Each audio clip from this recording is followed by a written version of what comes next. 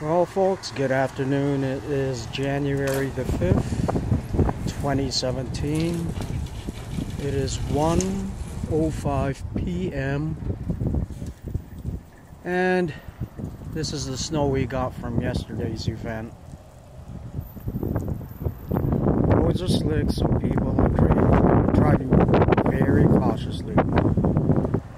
And the temperature right now is 1 degree Fahrenheit or minus 0.17 degrees Celsius. This is cold. I got my vehicle warming up. I gotta check it out.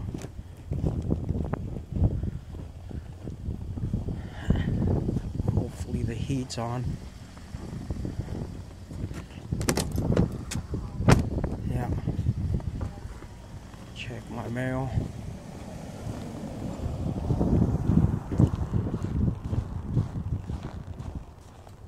Well, somebody did my driveway. That's really nice of them.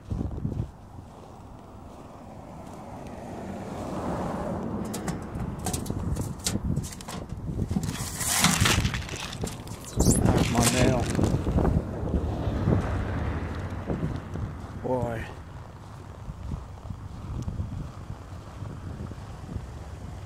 We weren't expecting this much snow, but it did happen. I'd say we got about eight, nine inches. But the best thing about it, we didn't get a blizzard. That's the last thing we want. In a blizzard, you get snow drifts about waist deep, usually over here, all the way up to your shoulders if it gets uh, real windy. That'll uh, keep you all updated. I know it sounds boring, but this is life. I gotta get in my vehicle here. It is. Light. Cold.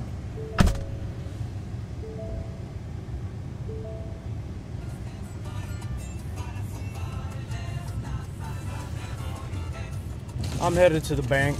We'll talk to you guys shortly. And I'll keep you updated. They say we're supposed to have a heat wave next week 40s to 50s well that's for uh, to us that's a heat wave okay?